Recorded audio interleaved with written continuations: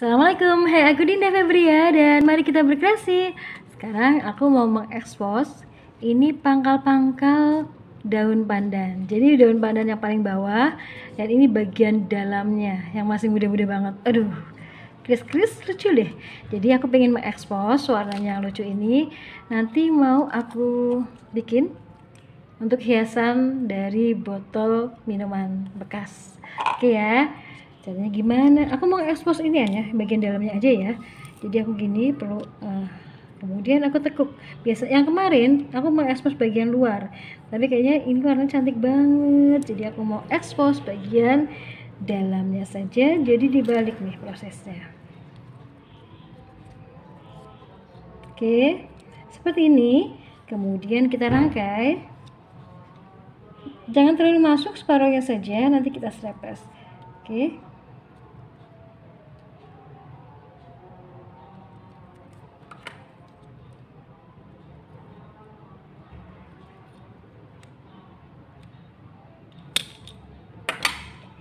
seperti ini. Nah kita rangkai sampai bisa mengelilingi ini. Ya kan? Nggak tahu ini kira-kira butuh berapa lembar. Semoga cukup ya. Ini warnanya cantik banget nih kan? Oke kita masukkan lagi. Kita balik dulu. Karena warna bagian dalamnya cantik banget. Masya Allah ya. Masya Allah ya ciptaan Allah ya Allah. Bagus banget warnanya ih sebentar. Ini kenapa nggak mau buka? Bismillah. Nah seperti ini. Lalu kita satukan dengan strapless. Seperti ini.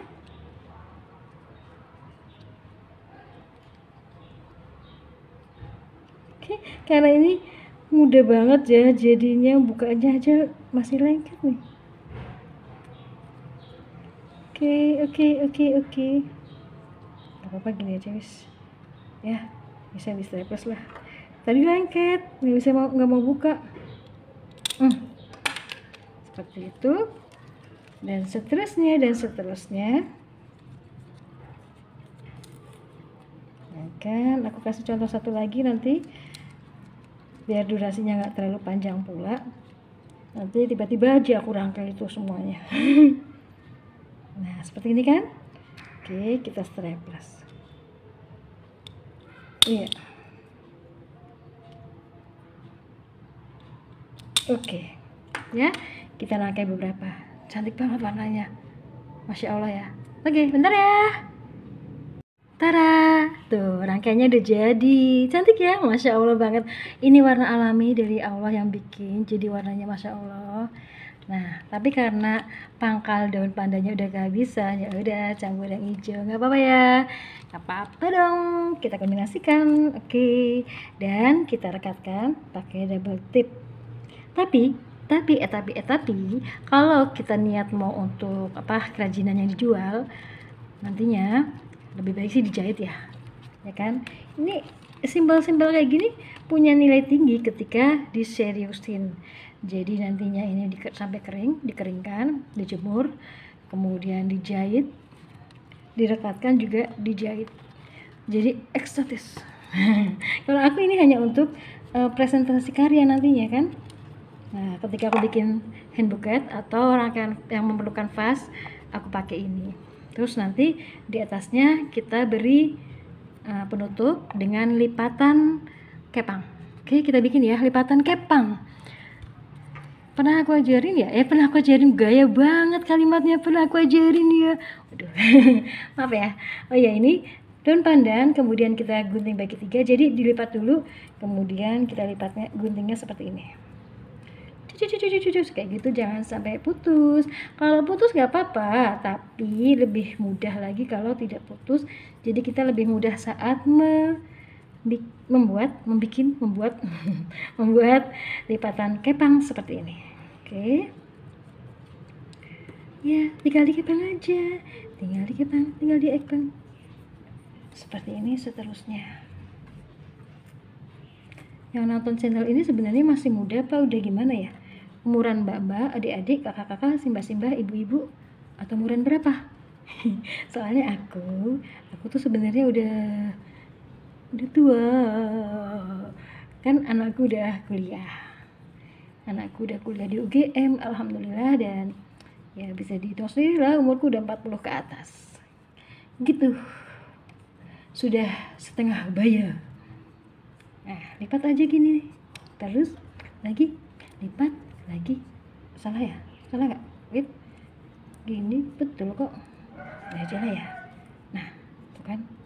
Nah tuh kan kan? Gitu terus nanti bisa untuk menutupi strapless. Kan? Oke lipat-lipat. Lalu kita strapless boleh pakai double tip boleh pakai strapless aja. Tapi nanti kalau yang aku ini penyatuannya pakai double tip. Oke. Ini lipatan kepangnya menggembung karena tulang daunnya udah keras. Seperti ini nanti pakai double tip ya. Atas dan bawah. Cantik nggak? Cantik kan? Jadi inget apa ya? Jadi inget film-film tahun 80-an wih kelihatan banget tuanya. Tahun 80-an filmnya itu break dance dan kepalanya diikat pakai kayak gini nih. Ada yang tahu nggak Oke, kita rekatkan dulu atas dan bawah. Sebentar ya. Tada! Wih, cantik banget. Bagus loh. Apa ini? Bisa untuk vas bunga, walaupun udah ada aksennya di bawahnya. Jadi agak-agak terlalu ramai. Tapi bisa juga untuk tempat peralatan. Tempat pensil atau tempat pensil alis, ya kan? Cantik loh. Tapi kalau untuk bisnis, ini dipikirkan lagi kekuatannya jadi mungkin pakainya dijahit terus bahannya juga dikeringkan. Lalu dilakukan pewarnaan oke kan? Kalau ini yang alami aku sengaja bikin bukan untuk dijual tapi untuk presentasi kayak gini. Oke ya? Kalau suka like comment share subscribe. Aku Dinda. Thank you. Assalamualaikum